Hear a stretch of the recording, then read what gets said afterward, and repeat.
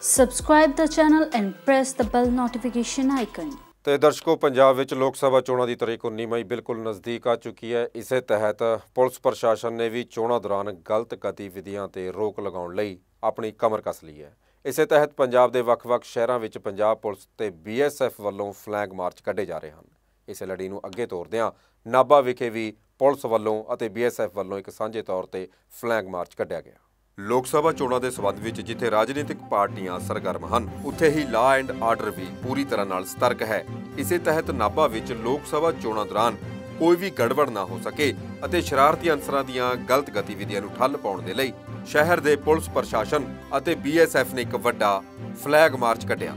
ਇਸ ਮੌਕੇ ਨਾਭਾ ਦੇ ਡੀਐਸਪੀ ਵਰਿੰਦਰਜੀਤ ਸਿੰਘ ਥਿੰਦ ਨੇ ਦੱਸਿਆ ਕਿ ਸ਼ਹਿਰ ਵਿੱਚ ਬੀਐਸਐਫ ਦੇ ਨਾਲ-ਨਾਲ ਵੱਖ-ਵੱਖ ਥਾਵਾਂ 'ਚ ਪੈਦਲ ਮਾਰਚ ਕੀਤਾ ਗਿਆ ਅਤੇ ਲੋਕ ਸਭਾ ਚੋਣਾਂ ਅਮਨ ਅਮਾਨ ਨਾਲ ਕਰਵਾਉਣ ਦੇ ਲਈ ਪੈਰਾ ਮਿਲਟਰੀ ਫੋਰਸ ਨੂੰ ਤਾਇਨਾਤ ਕੀਤਾ ਗਿਆ ਹੈ। ਉਹਨਾਂ ਦੱਸਿਆ ਕਿ ਬੀਐਸਐਫ ਅਤੇ ਪੰਜਾਬ ਪੁਲਿਸ ਸ਼ਹਿਰ ਵਿੱਚ ਨਾਕਾਬੰਦੀ ਦੌਰਾਨ ਸ਼ੱਕੀ ਲੋਕਾਂ ਦੀ ਜਾਂਚ ਵੀ ਕਰੇਗੀ ਤਾਂ ਕਿ ਚੋਣਾਂ ਸਮੇਂ ਕੋਈ ਗੜਬੜ ਨਾ ਹੋ ਸਕੇ। ਇਸ ਮੌਕੇ ਪੱਤਰਕਾਰਾਂ ਨਾਲ ਗੱਲਬਾਤ ਕਰਦਿਆਂ ਡੀਐਸਪੀ ਨੇ ਦੱਸਿਆ ਕਿ ਉਹਨਾਂ ਦਾ ਵਿਭਾਗ ਪੂਰੀ ਤਰ੍ਹਾਂ ਨਾਲ ਮੁਸ਼ਤੈਦ ਹੈ।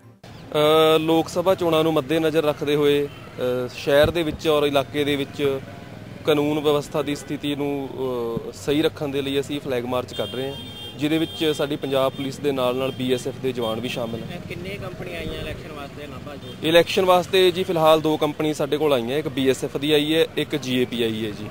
ਇਲੈਕਸ਼ਨ ਕਿਸੇ ਤਰ੍ਹਾਂ ਦੇ ਸੰਵੇਦਨਸ਼ੀਲ ਜਿਹੜੇ ਇਲਾਕੇ ਆ ਉਹ ਵੈਰੀਫਾਈ ਕੀਤੇ ਪੁਲਿਸ ਨੇ? ਹਾਂਜੀ ਅਸੀਂ ਕੁਝ ਇਲਾਕੇ ਸੰਵੇਦਨਸ਼ੀਲ ਕੀਤੇ ਹੋਏ ਜੀ ਡਿਕਲੇਅਰ ਜਿਹਦੇ ਤੇ ਅਸੀਂ ਕੰਟੀਨਿਊਸਲੀ ਵਾਚ ਰੱਖ ਰਹੇ ਹਾਂ ਤੇ ਉਹਨਾਂ 'ਚ ਪੈਟਰੋਲਿੰਗ ਵਗੈਰਾ ਵੀ ਅਸੀਂ ਕਰਵਾ ਰਹੇ ਹਾਂ। ਹੋਰ ਫੋਰਸ ਦੀ ਮੰਗ ਹੈਗੀ ਹੈ ਨਾਭਾ ਵੱਲੋਂ ਫਿਲਹਾਲ ਤਾਂ ਜੀ ਸਾਨੂੰ ਜਿਵੇਂ ਜਿਵੇਂ ਅਸੀਂ ਡਿਮਾਂਡ ਕਰੀ ਜਾਂਦੇ ਹਾਂ, ਸਾਨੂੰ ਫੋਰਸ ਅਵੇਲੇਬਲ ਹੋਈ ਜਾ ਰਹੀ ਹੈ।